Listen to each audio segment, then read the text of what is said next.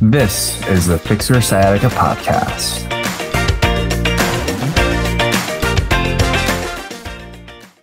Updated guide to fixing your sciatica. Now, this episode is an updated version from one of the first episodes I actually recorded for this podcast.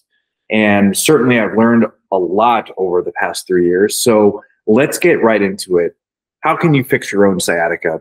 In today's episode, we're going to talk about specifically what is sciatica, and then number two, how do we treat it? It's pretty simple. The great news is that this treatment approach can be applied to not just sciatica pain, but if you're dealing with stuff like knee pain, carpal tunnel pain, hip pain, low back pain, neck pain, shoulder pain, this treatment structure can also help you self treat those issues as well. So, what is sciatica? If you are listening to this episode and been a regular listener, you have probably heard multiple times that sciatica is irritation of the sciatic nerve. And what is it itself? The sciatic nerve is the thickest and longest nerve in the body and expands from the nerve roots or spinal levels of L4, L5, S1, S2, and S3. And it covers sensation and motor control of the area of the low back, the hamstring, and everything below the knee. That includes the front and the backside. But what about our butt? A lot of times you'll see when you type in sciatica pain, they're going to say pain that radiates into your back, into your butt, and then go down, goes down your leg.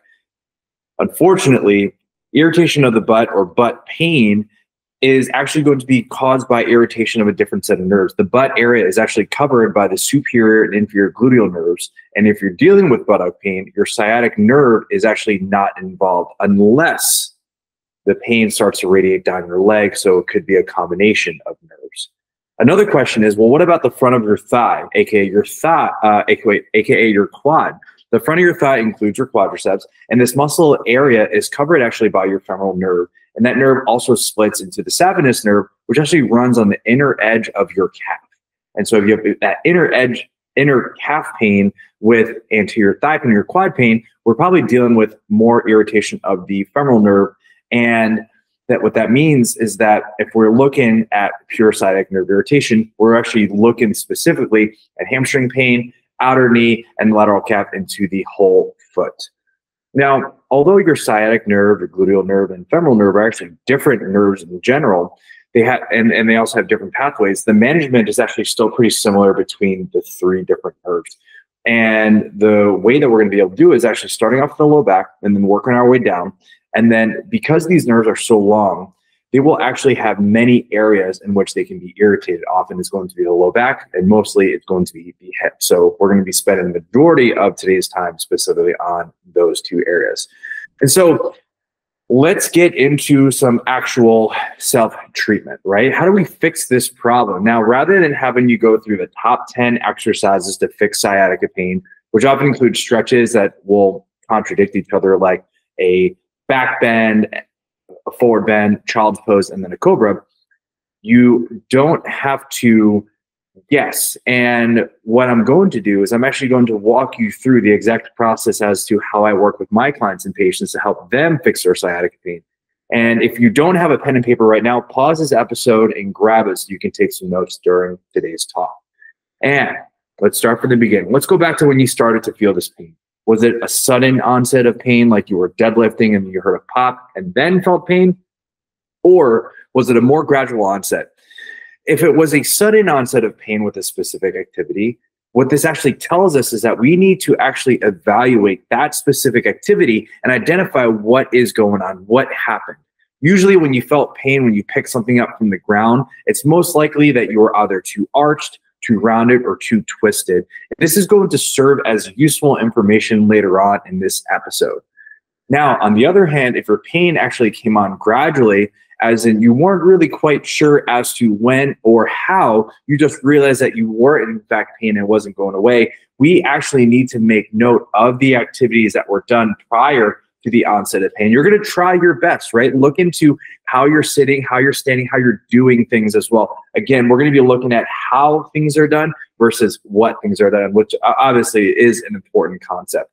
But from there, once we were able to get the history, right, we need to actually rule out any red flags. And what is a medical red flag? It's something that tells us that exercise, stretching, or movement isn't going to really serve that much of a purpose because there's something else happening uh, underlying that we need to get addressed first. So ask yourself these questions since the onset of your pain. Have you experienced nausea or vomiting, general malaise or not feeling well, fever, sweats, or chills, saddle anesthesia, which is actually numbness in your pelvic region, unexplained weakness, or any changes in your bowel or bladder function?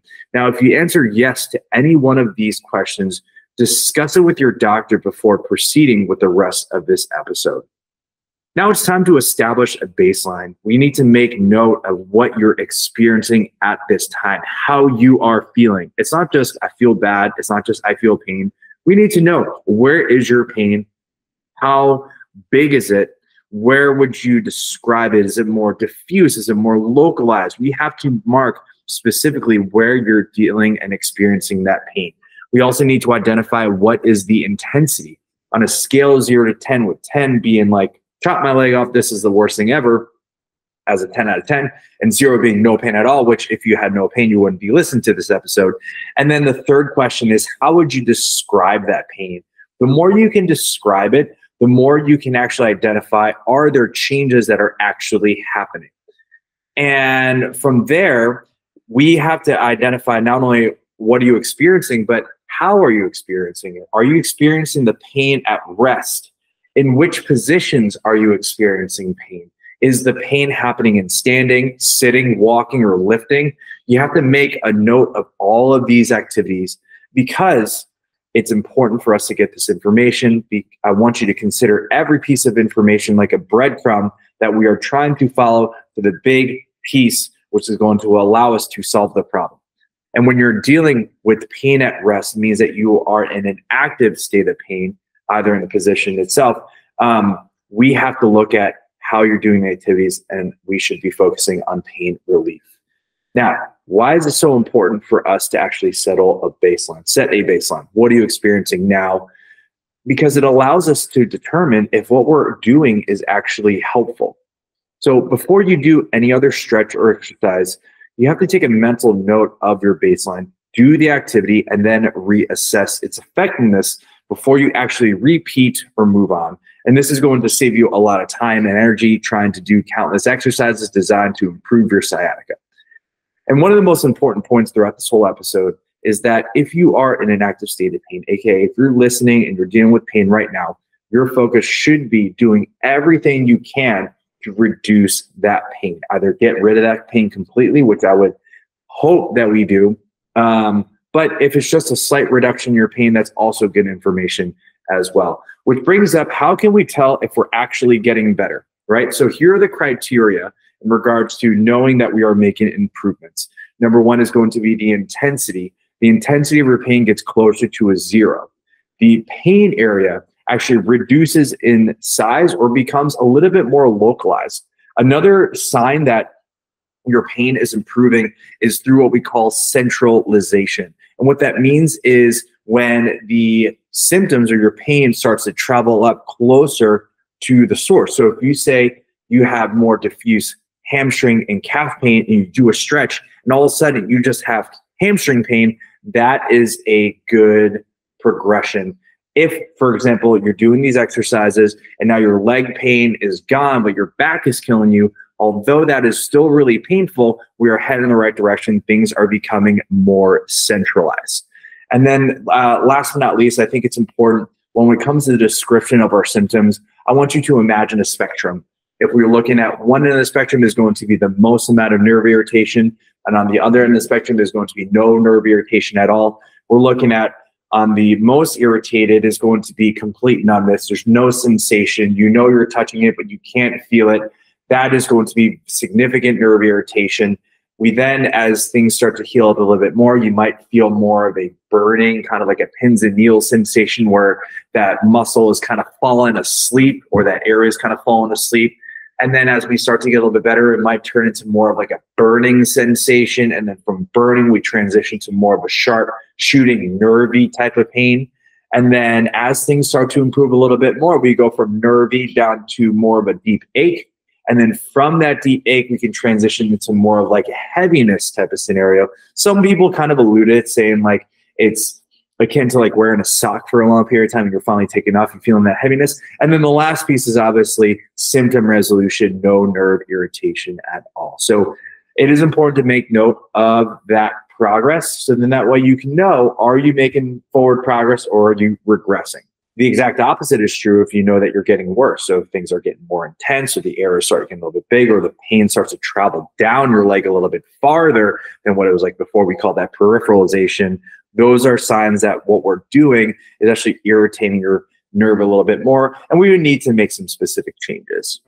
This episode is brought to you by the Patient Advocate Program. Are you tired of not having support between your rehab sessions? Introducing the Patient Advocate Program, and we're focused on your recovery and we're offering you 24 7 access to a doctorate of physical therapy. Stop waiting in line to be seen and stop spending hours doing long exercise programs. Imagine being able to get all of your care delivered straight to your phone. Best of all, it's affordable. We believe everyone deserves top notch relief without breaking the bank. So why wait? Take control of your health today and visit ptpatientadvocate advocate.com and book your free call with our experts.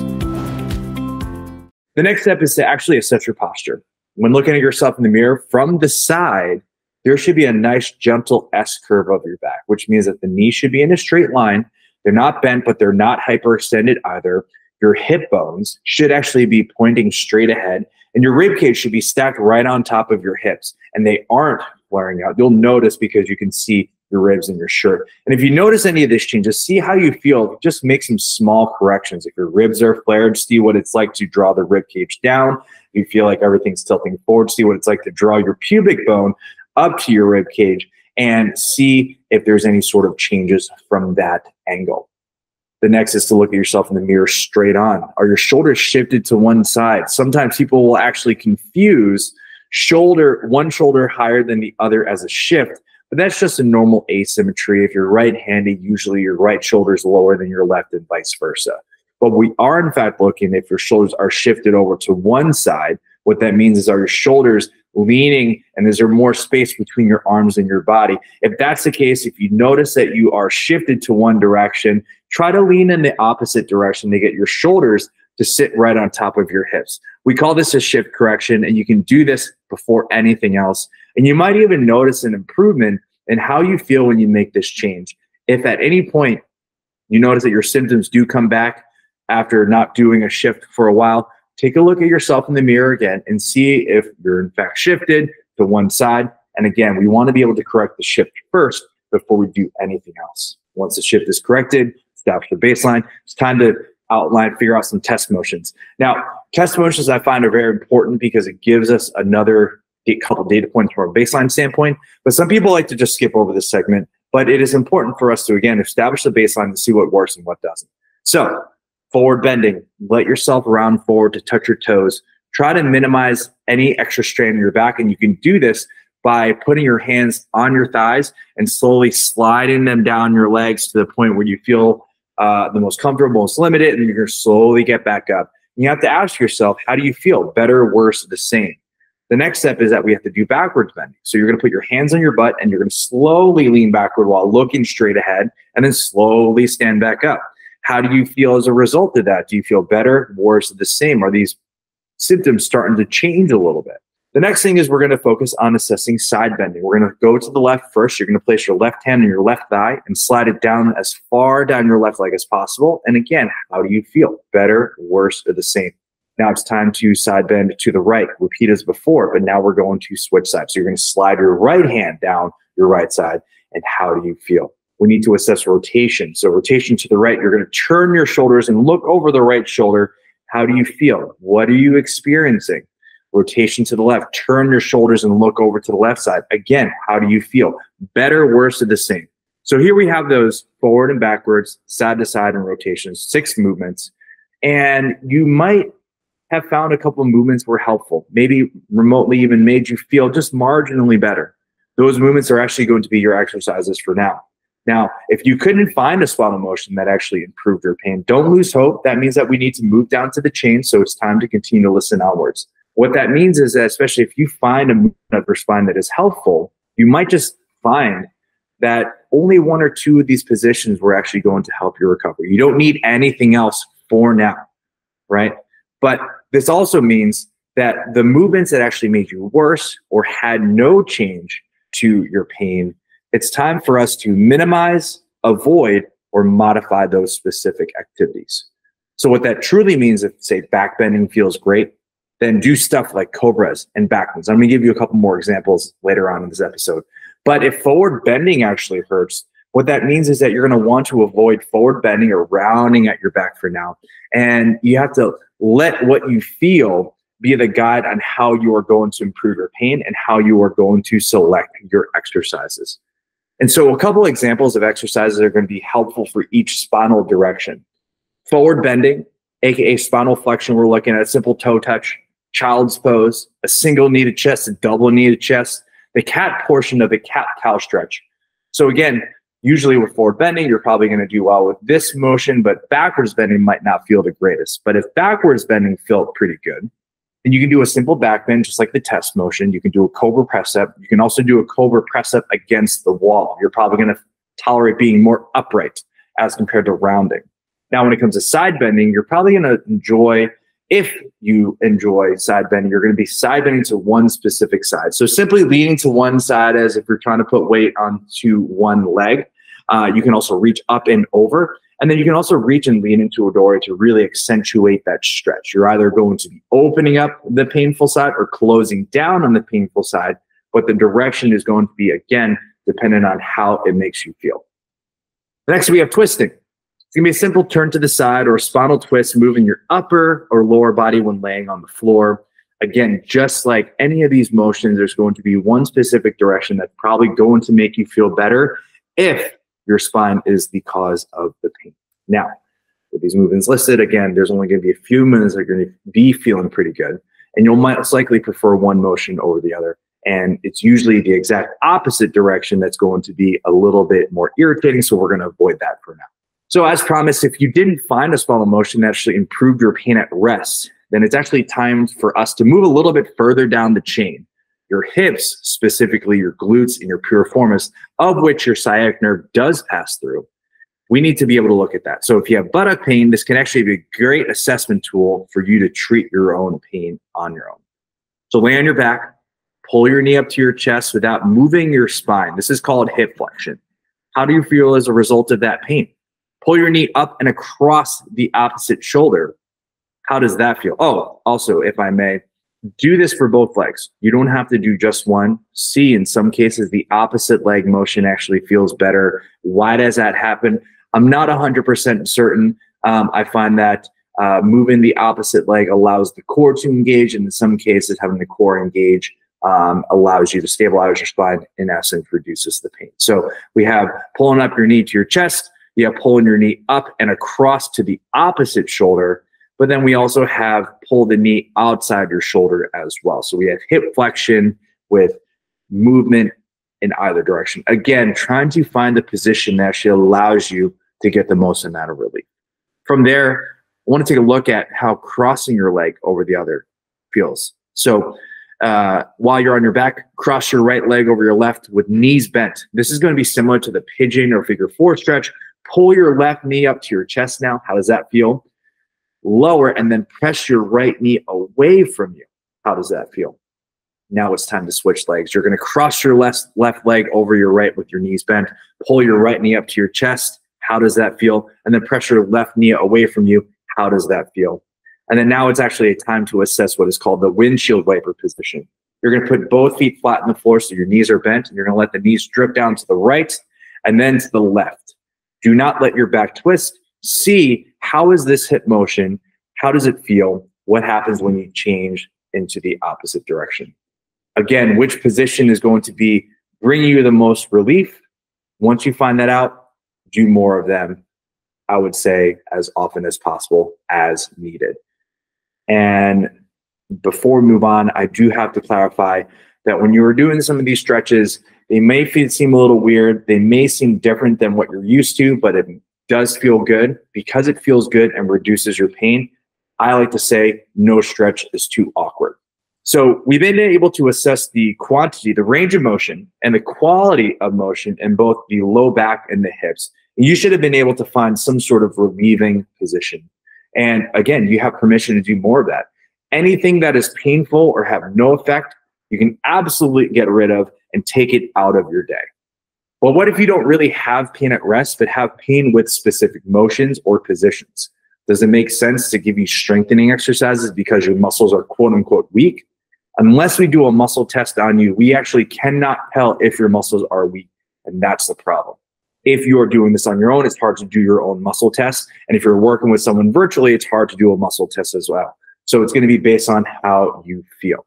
So what we need to do is look at how you are doing your activities, how you are doing those things. And so, an example, if you feel pain every time you bend over to pick something up from the floor, we need to look at how you're picking things up from the floor.